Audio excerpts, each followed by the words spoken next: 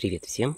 Сегодня у нас 24 августа и пришла пора уборки лука, который мы высаживали на гребне китайским способом.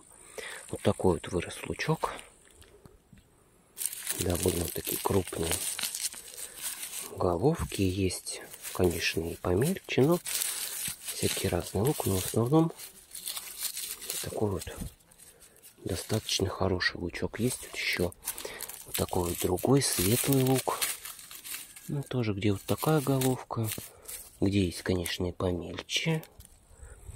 Ну, который поменьше, он пойдет на семена, которые покрупнее на еду.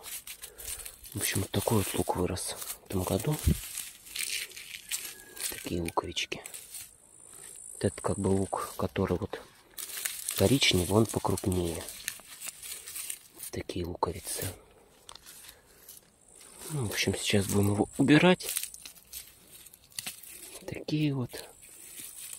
Где поменьше в гнезде, там он покрупнее. А где побольше, там, соответственно, помельче. Делали вот такие вот грядки, посередине которых вот такое вот у нас было углубление. Сюда удобно осуществлять полив, подкормки. Ну и вся влага, которая лишняя, соответственно, она всегда у нас стекает в междурядье, либо вот здесь как бы скапливается, а лук растет на вот таких вот импровизированных гребнях. Хорошо это, потому как он по мере роста, вот видите, вылазит, так сказать, из земли и, соответственно, хорошо прогревается солнышком, а это, в свою очередь, будет способствовать его лучшему хранению. Вот это едовой лук, а остальное, который помельче будет, на семена какой. Еще куда-нибудь, в общем. Так, неплохой урожай, конечно, бывало и лучше, но в такое жаркое лето, в принципе, тоже неплохо. Вот еще одна грядка. Здесь тоже вот такие вот такие вот луковицы выросли. Ну, тут, тут коричневым как-то покрупнее все-таки. На еду пойдет. В самый раз. Поэтому сейчас буду его вырывать, а затем обрезать. Ну вот, занимаемся и откачкой меда. И вырываю лук. Потом сейчас покажу вам, какой лук получился. Вот такой вот лук с одной грядки.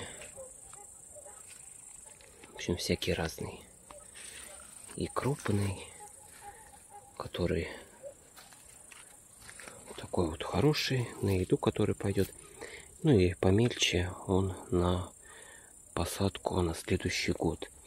Ну, как по прошлому году, мне кажется, в этом году немножко получше лук.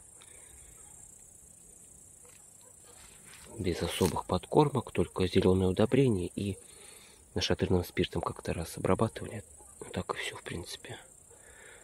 Такой вот лук.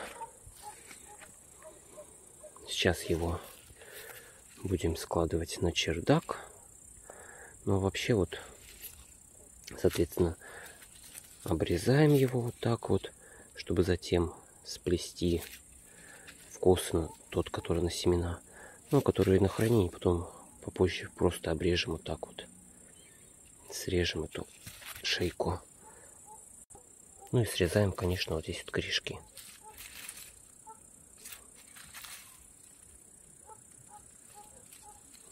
Поэтому вот такой лучок. Гнилого практически нет, там несколько всего луковичек было, а так весь, в принципе, целый.